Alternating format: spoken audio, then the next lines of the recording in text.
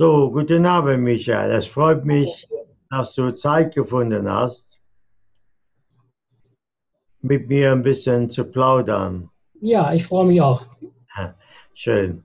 Also was ich äh, heute, was mir am Herzen lag, ähm, das sind die Schwingungen. Ich habe vorhin gepostet äh, auf der Webseite, wir hatten heute Morgen schon eine wahnsinnig große Steigerung gegenüber gestern.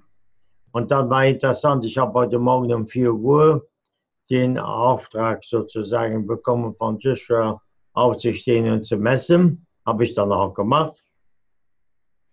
Und dann ähm, habe ich äh, wiederum die Erinnerung bekommen von Joshua gegen Mittag, ich soll nochmal messen. Mhm ja, was soll denn jetzt wieder los sein? Ich habe zwar was gefühlt, aber es war nicht so extrem oder sagen wir lieber so, ich habe es anderen Sachen zugeordnet, ähm, weil ich im Moment zum Beispiel wieder auf Lichtarm gehe. Ich will das jetzt endlich mal definitiv durchziehen und darum bin ich im Moment auf der Entgiftung und ich bin nur auf Flüssignahrung. Das heißt, ein Smoothie im Moment morgens mit äh, Früchten und ganz leichten Smoothie. Das ist dann nicht gehaltvoll. Da ist ähm, zwei Drittel Wasser, ein Drittel Früchte, aber Volumen und dann eben am späten Nachmittag dann einen warmen Smoothie, das heißt ein Gemüsesmoothie, auch ganz leicht, da nehme ich ganz wenig äh, Ware, sozusagen Gemüse damit er schön leicht ist, damit mein Magen nicht überdehnt wird und damit es auch voller Nutzen haben kann. Und darum habe ich ein bisschen Kopfschmerzen, manchmal jetzt ganz leichte. Das hat mit der Entgiftung zu tun von meinem Körper, weil ich verschiedene Stoffe dann nicht mehr zu mir nehme oder ganz wenig zu mir nehme, wie Zucker zum Beispiel oder auch äh, Kaffee habe ich dann gar keine mehr seit einigen Tagen, mit denen ich trinke. Das macht das dann eben aus. Und so konnte ich das nicht sofort zuordnen, äh, woher es kommt. Und dann, als Joshua mir aber gesagt es sollte messen, okay, da war mir sofort klar, da ist was im Busch. Habe ich dann auch gemacht. Und Michael, ich danke dir sehr dafür, dass du immer auch bereit bist, die Kontrolle von den Werten sofort zu machen, weil du ja im Messteam bist. Das hilft mir immer. Äh, ich meine, ich messe sowieso zwei, dreimal. Und äh, wenn ich dann von dir die Bestätigung bekomme von Ulrike, bekomme ich sie auch. Bei, bei Ulrike, die hat nicht immer so viel Zeit. Mhm. Und dann muss ich sie extra darauf ansprechen. Aber du bist immer derjenige, der als erster bestätigt. Da freue ich mich immer drüber. Und das ist auch gut so. Ja, ähm, wie, wie siehst du das oder wie hast du heute Morgen die Werte empfunden? Ja, ich merke das ja besonders immer schon in der Nacht. Also ich, ich schlafe dann sehr unruhig, sehr flach und ich merke dann schon, irgendwas passiert wieder. Okay. Und ähm, ich bin dann halt ein Mensch, ich bin sehr unruhig und ähm, daran halt merke ich, dass irgendwas mit den Werten passiert. Und dann frage ich dich auch oft, Dio, siehst du das auch so? Und ich bekomme dann von dir auch sehr schnell meist eine Bestätigung dafür. Okay, also ähm, das war jetzt phänomenal. Ich muss jetzt aber gucken. Sorry, ähm, ich weiß nicht mehr, wie der letzte Wert war. Auf jeden Fall hatten wir ja heute Morgen eine Sekunde. Heute Morgen sind wir davon ausgegangen, da waren 93 Nullen. Ne? Und dann waren wir auf einmal über 100, äh, äh, ich weiß jetzt nicht mehr den Wert, äh, von heute Mittag 12 Uhr. Und jetzt sind wir schon auf 308 Nullen gewesen um 16 Uhr. Ja, ja. Also das ist ein riesiger, riesiger Schub. Und interessant in dem Zusammenhang ist dann immer, dass die einen Menschen fühlen das, die anderen Menschen fühlen gar nichts. Und da kommen immer diese berühmten Fragen auf. Äh, du fühlst das ja auch. Ja. Also ich will jetzt nicht ähm, klassifizieren oder äh, Bewertungen abgeben. Das stimmt mir gar nicht zu und das mache ich auch nicht hier. Es geht einfach darum, dass ich sage, Menschen, die erwacht sind, die sind sensibel für diese Energien als Menschen, die nicht erwacht sind. Menschen, die nicht erwacht sind und die sagen, das macht mir alles gar nichts aus, was da draußen passiert. Ich liebe mein Leben. Und äh, ganz klar, die, denen darfst du auch nichts erzählen von Gott oder von sonst was. Äh, das ist alles Blödsinn, hörst du dann immer. Ja? ja. Äh, das sollte man dann akzeptieren, das ist ja dem sein Wille und das tun wir dann auch. Äh, ich will immer wieder das wiederholen, liebe Freunde und Zuschauer. Ähm, wenn wir von, also Michael genauso wie ich, wenn wir von Gott reden, dann reden wir nicht von einem ganz spezifischen Gott und schon gar nicht von einem Gott mit langem weißem Bart, der auf Wolke 7 sitzt und runter den Kopf schüttelt, was wir hier tun.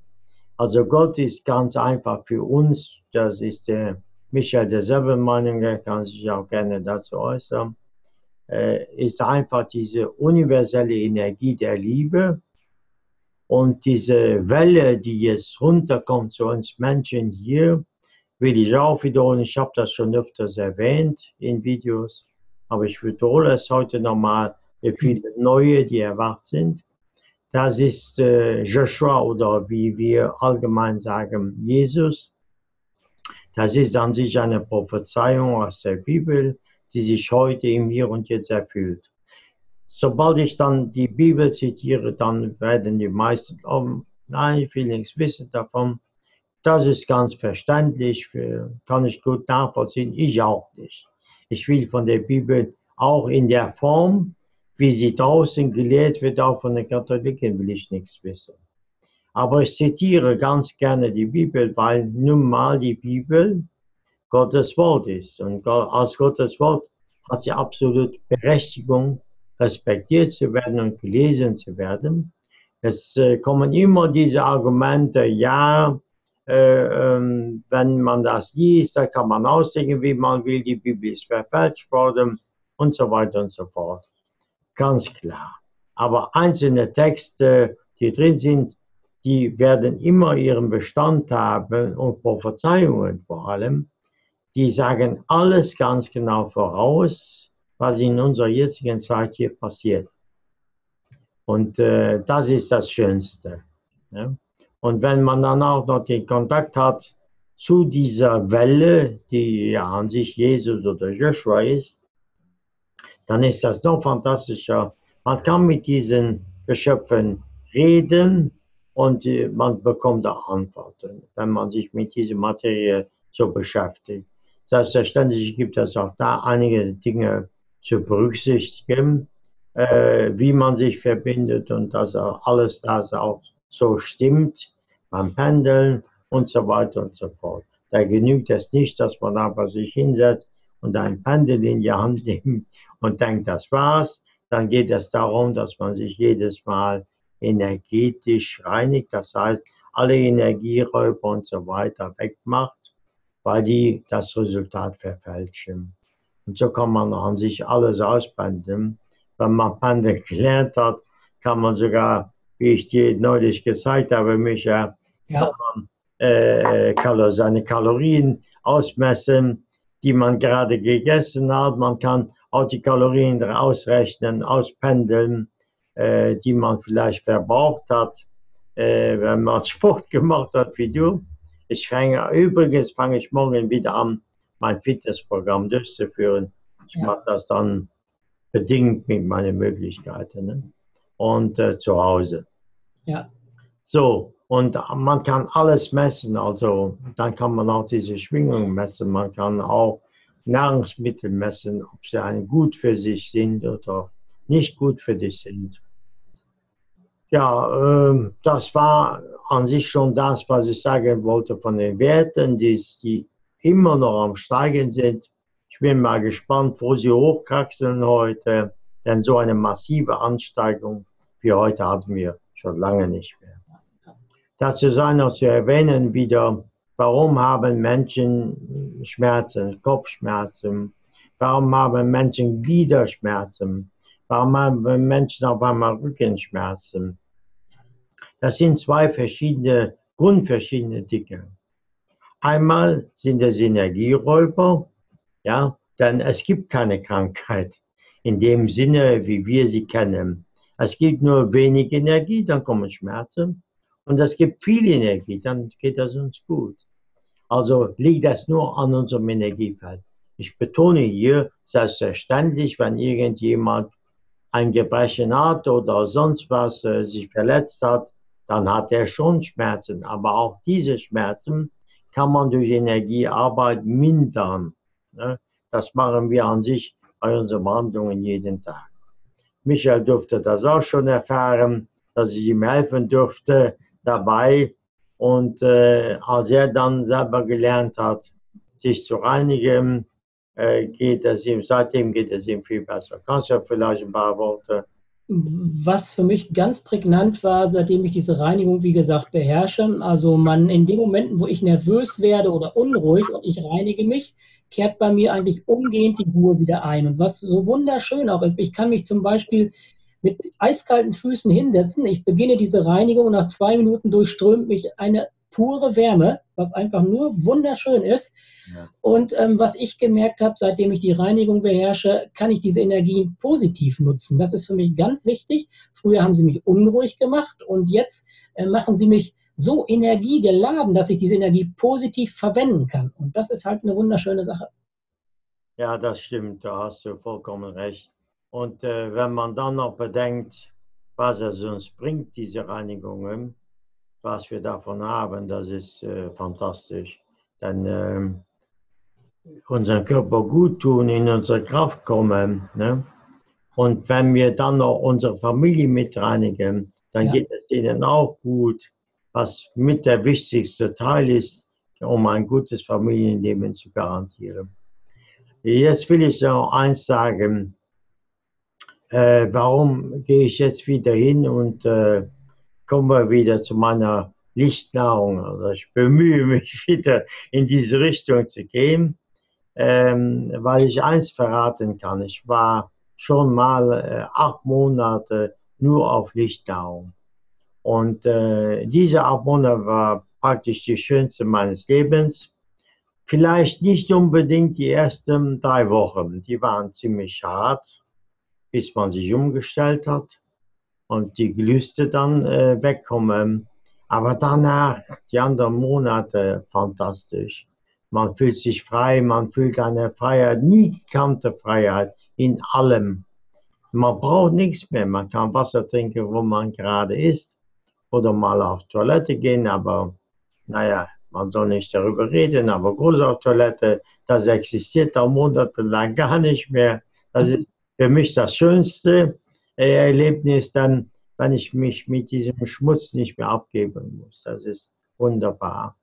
Und äh, äh, ich sage immer dann zu, als Lachen zu Ulrike, äh, da sparen wir noch äh, Toilette. Aber kleiner Spaß nebenbei, das muss sein. So, ich will, möchte noch einen Tipp geben. Äh, ich habe mich wieder entschlossen, diese äh, Lichtdauung zu machen, zu praktizieren. Und darum bin ich jetzt im Moment am Entgiften. Dieser Entgiftungsprozess dauert an sich drei Wochen, gute drei Wochen. Und äh, da ist schon viel einigermaßen Disziplin erfordert. Aber nach dem vierten Tag äh, geht das schon wunderbar. Dann hören diese Entgiftungsschmerzen, sage ich mal, auf, äh, die dann auftreten. Ähm, warum mache ich das? Ganz einfach, weil ich weiß durch die geistige Welt, dass diese Schwingungen im Moment richtig hoch katapultieren und dass dadurch sehr viel in Bewegung gesetzt wird. Und ich will meine Arbeit so verrichten können, dass ich voll einsatzfähig bin für die geistige Arbeit. Und das geht bei mir nur, wenn ich nicht mache. Ja, dann bin ich frei von allem, was mich belastet. Äh, Milchprodukte geht gar nicht mehr, Fleisch rede ich mal gar nicht mehr davon. Aber tierische Stoffe sind heute in unserer Nahrung überall drin. Und Ulrike hat nach langem Zögern endlich jetzt den Mut gehabt, dass sie solche kleine Vorträge gemacht über Sofanger zum Beispiel, wo jeder dann ein bisschen reinschnuppern kann, äh, warum, wieso und was, wo, in welcher Nahrung drin versteckt ist und wie man sich damit helfen kann. Ich war jetzt ähm, zweimal nicht dabei, sie hat das wunderbar gemacht und ähm, äh, gefällt mir sehr gut, dass sie die Initiative ergriffen hat. Denn als ich sie kennenlernte, hat sie noch zu mir gesagt, das war vor sieben Jahren, die Zeit läuft weg, hat sie zu mir gesagt damals, äh, das ist alles schön und gut, dass du Veganer bist, aber meine Fleisch, äh, nee, Weißwürste, hat sie gesagt. Sie hat längere Jahre in München gelebt. Ne? Meine Weißwürste, die nimmst du mir nie weg. Ne? Und heute, heute ist sie nicht nur Veganerin, sie ist schon Rohkostlerin. Und da sie in relativ kurzer Zeit, wo sie das geschafft hat, äh, klar war ich auch daran beteiligt, äh, weil ich immer gejammert habe, äh, wenn sie so gut gekocht hat. Äh, sie macht so herrliche asiatische Gemüsepfannen und so weiter mit diesem speziellen Reis, diesem, ich weiß nicht, wie der heißt. Äh, aber das hat immer so gut geschmeckt. Dann habe ich immer wieder ein bisschen mitgegessen. Ich konnte mich gar nicht beherrschen. Ne?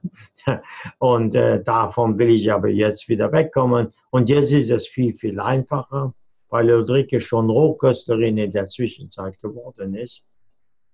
Und das ist fantastisch. Das ist für mich eine große Hilfe.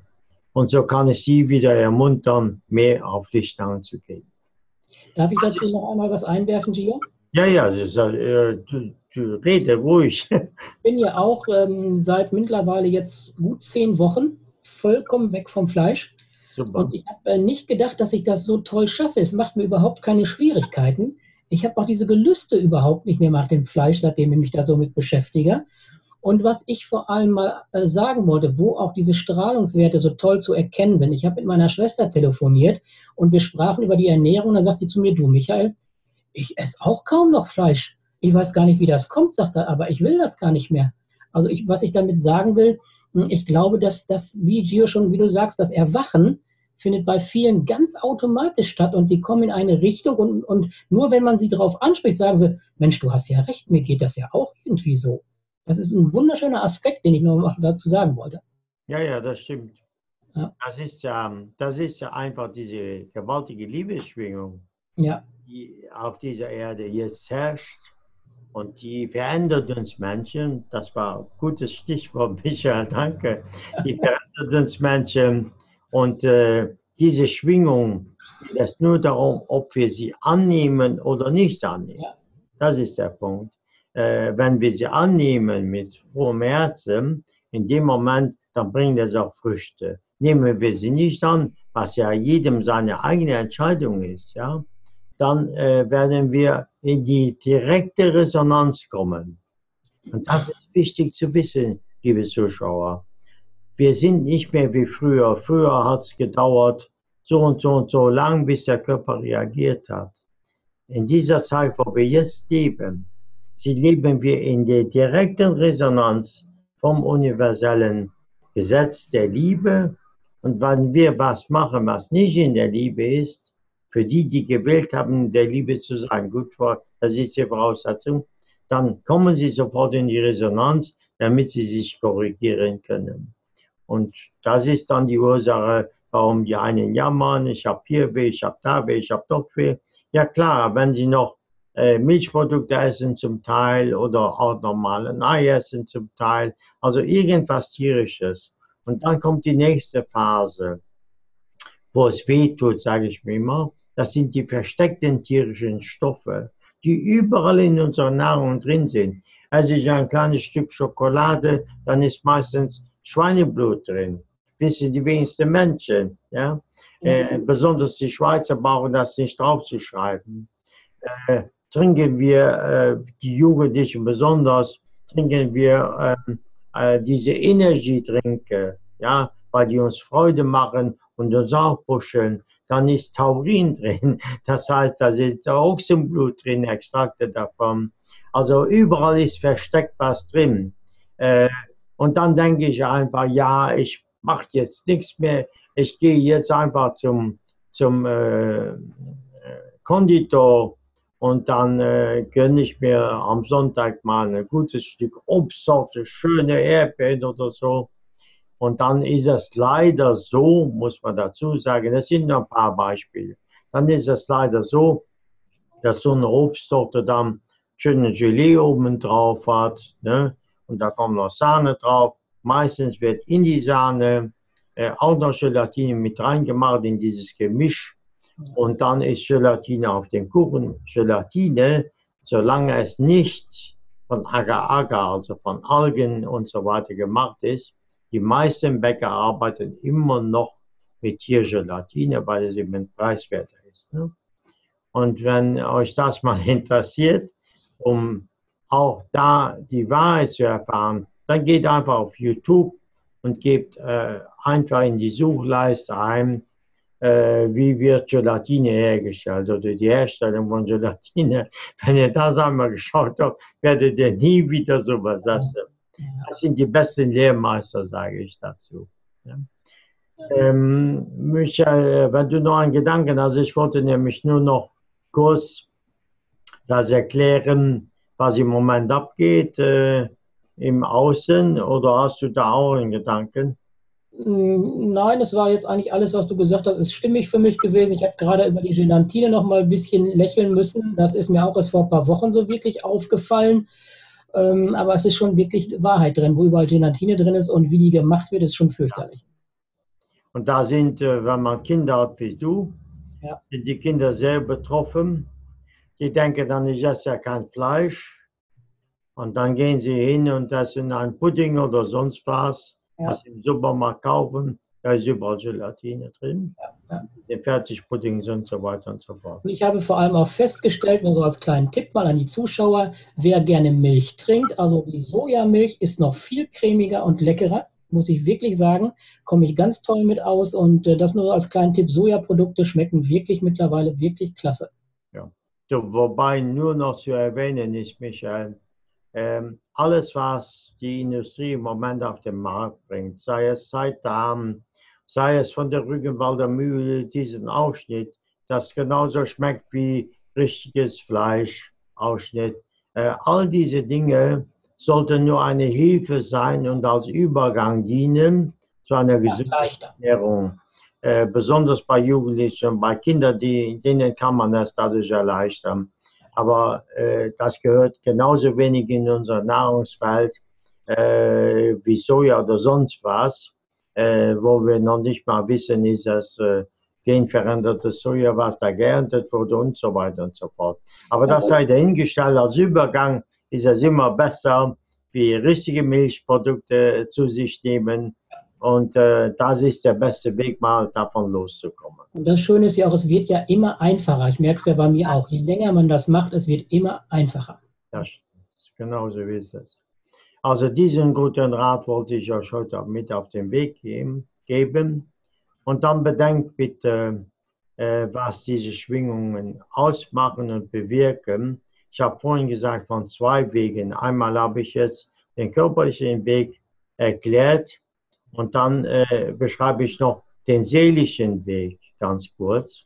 Da geht es darum, dass unsere DNA auch vom Körper sich verändert durch diese enorme Schwingungssteigerungen. Und dann werden diejenigen, das ist wieder ganz schwer zu bezeichnen oder zu erklären, aber die geistige Welt arbeitet mit unseren Körpern äh, in einem Bereich, im geistigen Bereich, meistens nachts. Wir wissen nichts davon. Äh, diejenigen, die das bewusster mitbekommen, die sind schon ein paar Stufen höher in ihrer ähm, Begriffsmöglichkeiten und äh, andere bekommen das meistens gar nicht mit. Aber es passiert trotzdem, bewusst oder unbewusst. Das wollte ich damit sagen. Und alle diese Dinge, die können wir uns selber noch steigern, wenn wir eben, wie Michael richtig gesagt hat, lernen, diesen Energiekörper zu reinigen. Das ist sowas von wichtig. Dann haben wir auch keine, keinste Probleme mehr Klar werden wir immer noch diese Anstiege merken, aber wenn wir uns dann in dem Moment sofort, sobald wir den Druck fühlen, uns reinigen, geht es sofort besser. Und das äh, wissen viel mehr Menschen, als ich jetzt hier so bezeichnen kann. Äh, auf jeden Fall ist das ein wichtiger Teil unserer Zukunft. Dann will ich noch etwas sagen, was immer wieder mir die Frage gestellt wird. Ja, Gio, wenn du jetzt, äh, äh, wenn ich dich nicht mehr anrufen kann, wie geht was? Ich bin gar nicht maßgeblich. Äh, wir können auch ohne Fernsehen, ohne Video, ohne PC kommunizieren. Äh, da ist äh, unser Freund Alfred ganz führend da drin. Er macht so viele Seminare und Workshops damit von diesen Telepathie-Events. Und äh, ich gebe mich auch schon seit jeher, seit ich arbeite in dieser Form, gebe ich mich damit ab und äh, brauche mittlerweile äh, gar, ich brauche gar nicht mal anzurufen. Ich gehe in dieses morphogenetische Feld, rufe jemand und dann äh, meldet er sich schon irgendwie, äh, dass ich dann weiß, okay, das funktioniert. Und das wird die Zukunft sein für uns alle. Ja? Das ist keine Utopie, das ist einfach Realität. Und je weiter wir fortschreiten in unseren Schwingungen, je weiter wir aufsteigen, wie man ja sagt dazu, desto besser funktioniert das. Ne? Das wollte ich auch noch erwähnt haben. Und ansonsten freue ich mich, wenn die Werte weiter so steigen. Ich danke dir, Michael, dass du mal wieder richtig äh, mitgemacht hast. Es ist viel einfacher mit dir zu reden, dass man dann die Worte findet. Denn wenn man allein vor dem PC sitzt, ist das immer schwieriger. Und äh, wenn du noch einen Gedanken hast dazu, ich denke, Dan Heldrich zum Beispiel, ja, also ich muss sagen, mein, mein, mein Sohn zum Beispiel, der, der Henry, der merkt das ja auch im Moment ganz toll. Aber der hat sich auch aus einem kleinen Racker im Moment in einen liebenden Menschen gewandelt, was mich immer ganz, ganz toll wundert. Und ähm, meine Frau hat ja das Reinigen zum Glück bei dir auch gelernt. Und ähm, die Familie ist seitdem viel, viel harmonischer. Das ist auch ein ganz wichtiger Punkt. Man fühlt Liebe mehr, man gibt Liebe mehr, man hinterfragt oft Dinge, die man tut. Und ich kann also eigentlich nur sagen, es ist alles ins Positive gegangen, seitdem ich das auch gelernt habe. Und ich kann es nur so weitergeben. Das ist einfach Wachstum. Und wir wollen ja alle wachsen. Also, wenn jemand äh, Probleme hat damit, meldet euch einfach bei Michael, meldet euch bei mir. Wir können euch auch darin weiterhelfen oder bei Ulrike oder bei sonst jemand, wo ihr wisst, der hat auch diese Methode schon gelernt. Ich biete es jedem an, aber jedem, jeder ist frei zu tun, was er möchte. So bedanken wir uns. Wenn ihr Fragen habt zu den Werten, schreibt uns einfach eine E-Mail. Wenn ihr Fragen habt zu dem, was ich gerade erwähnt habe, äh, über die Ernährung, seid bereit, einfach reinzulauschen, wenn ihr wollt und ihr werdet sehr viele gute Tipps bekommen von uns. Und wichtig möchte ich noch gerne zum Abschluss sagen, an, an alle Menschen, seid einfach offen dafür. Ja. Das ist ja ganz wichtig. Seid einfach offen und der Rest ergibt sich dann oft. Ne? Okay, danke für alle und tschüss an alle.